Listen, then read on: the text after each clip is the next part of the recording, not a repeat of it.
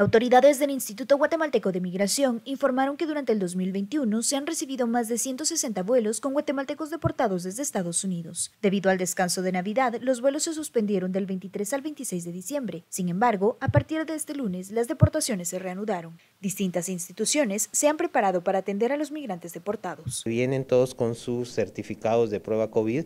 Ahora con la variante de Omicron estamos muy preocupados. Gracias eh, al Ministerio de Salud podemos coordinar eh, hisopados, que se siguen haciendo los hisopados a un porcentaje de los vuelos y tenemos la vacunación. Organizaciones como OIM y Conamigua se encargan de apoyar a los guatemaltecos deportados a retornar a sus departamentos de origen. Eh, va a existir cooperación eh, internacional para brindar ese traslado a las comunidades. Por otra parte, la atención humanitaria en la ruta migratoria de Guatemala a México continúa. Andrés Lemus, portavoz de la Cruz Roja Guatemalteca, informó que mantienen presencia en los puestos fronterizos de Chiquimula, San Marcos, Quetzaltenango y Petén. Tenemos un programa constante de asistencia humanitaria a personas migrantes.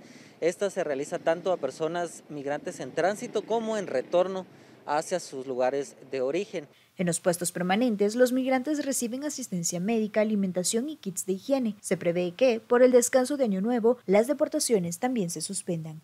Ligia Toledo, Voz de América, Guatemala.